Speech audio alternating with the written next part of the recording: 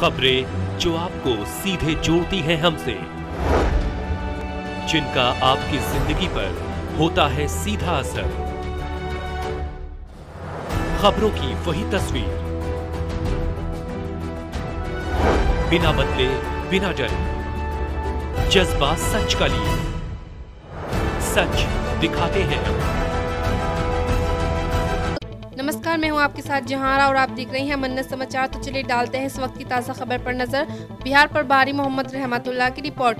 दो बेटी जन्ने पर पहले पत्नी को छोड़ा, पीड़िता ने लिया पुलिस का सहारा तो पति ने ओकेस्ट्रा में बेच दिया।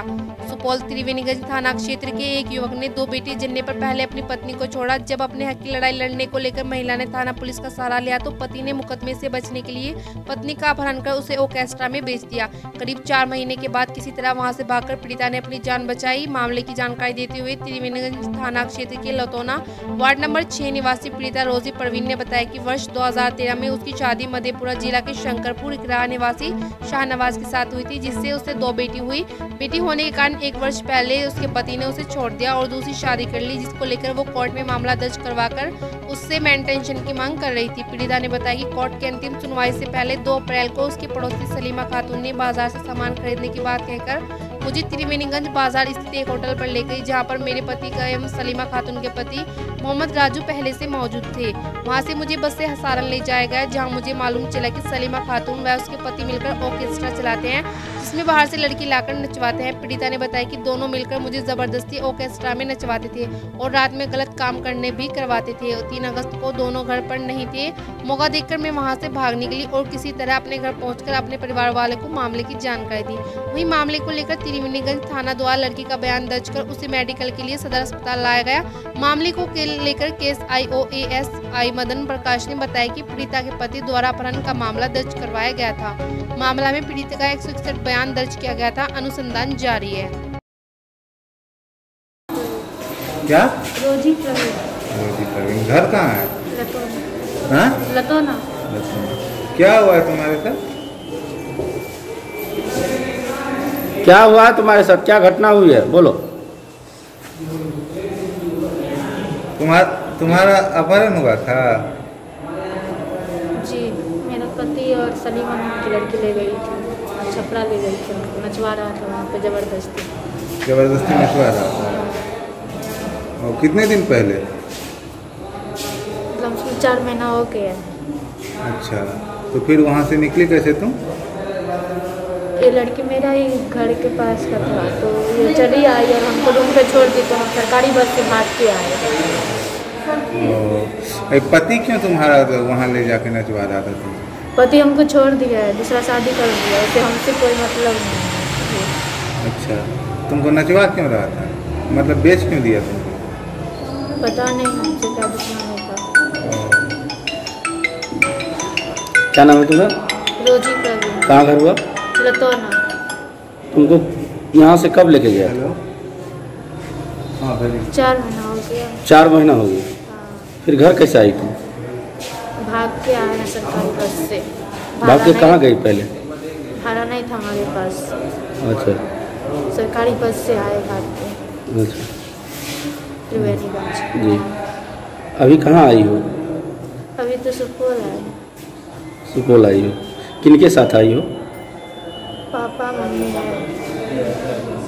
हाँ। बोलो किसके साथ आई पापा मम्मी प्रशासन के साथ आए तो क्या चाह रही है?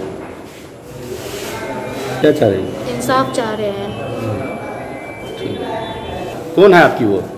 बेटी जी क्या मामला हुआ? किडनैप करके कौन ले गया किडनैप करके? हमारा जमाया सलीम जी कहाँ ले गया? जी कहाँ ले गया? आब कहाँ ले ओ पता नहि अच्छा ठीक। है आपके पास कैसे आपकी बच्ची आई फिर? अपने एलैए अपने चले आए हाँ। अभी कहाँ हैं आप? कानपुर हॉस्पिटल सदर हाँ। हॉस्पिटल पुलिस के साथ एलियै। क्या चाहते हैं आप लोग? इंसाफ। इंसाफ चाहते हैं। क्या नाम है आपका? सैमुल खातून। कहाँ घर हुआ? लतौना। पति का क्या नाम हुआ? मोहम्मद मनीर। कहाँ आए हैं आप लोग? 2013 में हम बच्चा का शादी किया। हम्म, नंबर तीन में। हम्म, आ, थाना शंकरपुर जिला मधेपुरा में। हम्म, हमारे बच्चा को दो लड़की हुआ। हम्म, कुछ दिन के बाद। हम्म, दो लड़की हुआ तो वो लड़का क्या किया तो इसको मारपीट के भगा दिया। हम्म, वो दूसरा शादी कर लिया। दूसरा शादी कर लिया तो हम सिपौल में आके हम डोरिया केस किए। तो वकील बोला से मैं डोरिया केस किया है तो कब किए थे? कौन ईस्वी में? हाँ? कौन ईस्वी में किए थे डोरी एक्ट केस? दो हज़ार सत्रह में। अच्छा ठीक। दो हज़ार सत्रह में।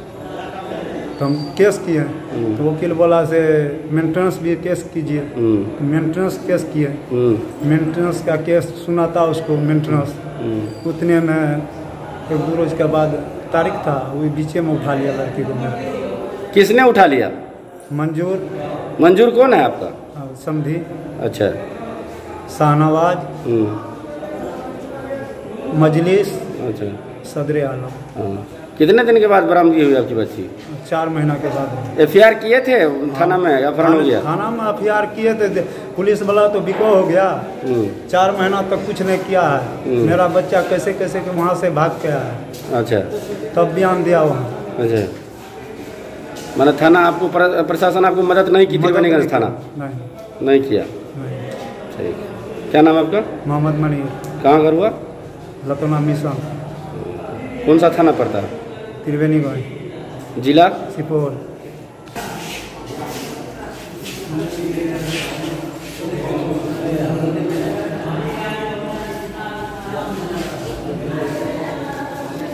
संतानवे इक्कीस।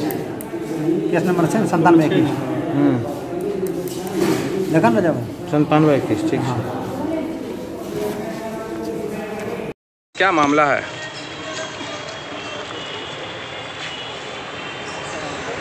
मेथड बताइए मेथड। किस मेथड का पूछना चाहते अभी जिस लड़की का मेडिकल करवाने आए हैं क्या मामला है सर? इसका मामला है इसका फादर अपहरण का केस किया था। इसमें हमने अनुसंधान किया हम ही अनुसंधान करता थे। जी जी। तो अनुसंधान के दौरान मुझे गुप्तचर के द्वारा पता चला कि ये लड़की सिवान छपरा में नर्तकी का कार्य करती है। हम वहाँ जा कर के रेड किए। दो तीन दो तीन थाना सहयोग से हमने छापामारी किया। लड़की तो बरामद नहीं हुई, लेकिन जब मैं घर पर आकर के दबाव डाला जो लड़की इसको लेकर के गई थी फिर दो तीन दिन के बाद लड़की अपने घर पर आई। उस बीच में हम छुट्टी में थे तो थाना अध्यक्ष के द्वारा इसका इकसठ का बयान करवाया करवाया गया। हम छुट्टी से जब आए हैं तो इसका मेडिकल करवा रहे हैं, कोर्ट के आदेश के अनुसार। लड़की का आरोप है कि उनके पति द्वारा उनको बेच लिया गया था, उनसे यौन शोषण करवाया जा रहा था, क्या? अब मधुबन को कुछ जानकारी नहीं है। क्या नाम है सर आपका? S I Madan Poddar